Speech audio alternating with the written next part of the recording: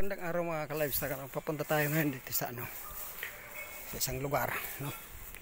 Kasi yung baka niya daw hindi nakatayo, tatlong buwan pa lang yung anak. Hindi wala naman silang makitang problema nung una. Ah, ngayon mga ka-livestock.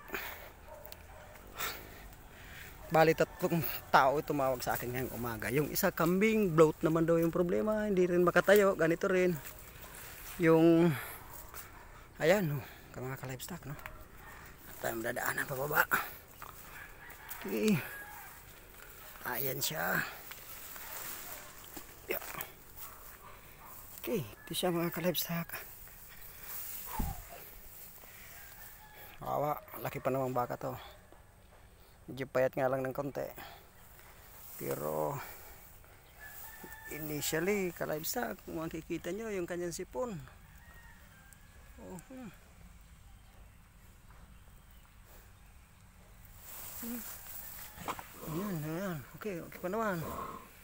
Okay, hanapan natin ng ibang Eh, kaya sa garapata ka livestock eh. Kung garapata lang naman ang pag-uusapan. Kasi medyo may karami-ramihan din. Uh, hindi yan ang magiging dahilan para matumba na siya at di na siya makatayo. Pero ka livestock ito ang napapansin ko dito. No? Ayan o. Nako. Ayan. Parang ito ang dahilan. Ayan o. Okay. Napuluputan ng lubid. Yun. Tingnan nga natin. Ayun nga.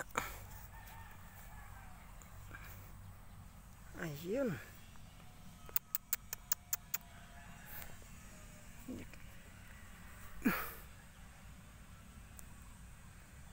Yan, parang ito ang dahilan. Huh?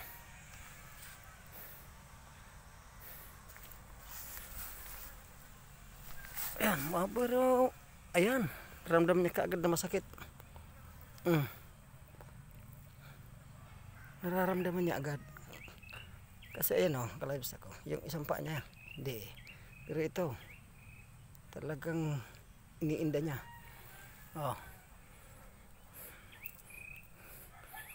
Pero hindi naman siguro bali oh. hindi naman siguro yan nabali mga ka-livestock no? sana hindi ah. hindi naman siguro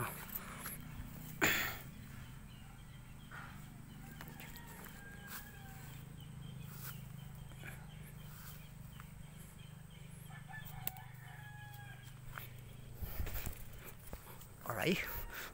Sakit. Okay, hanggang dito na lang muna mga ka-livestock. Maya maya.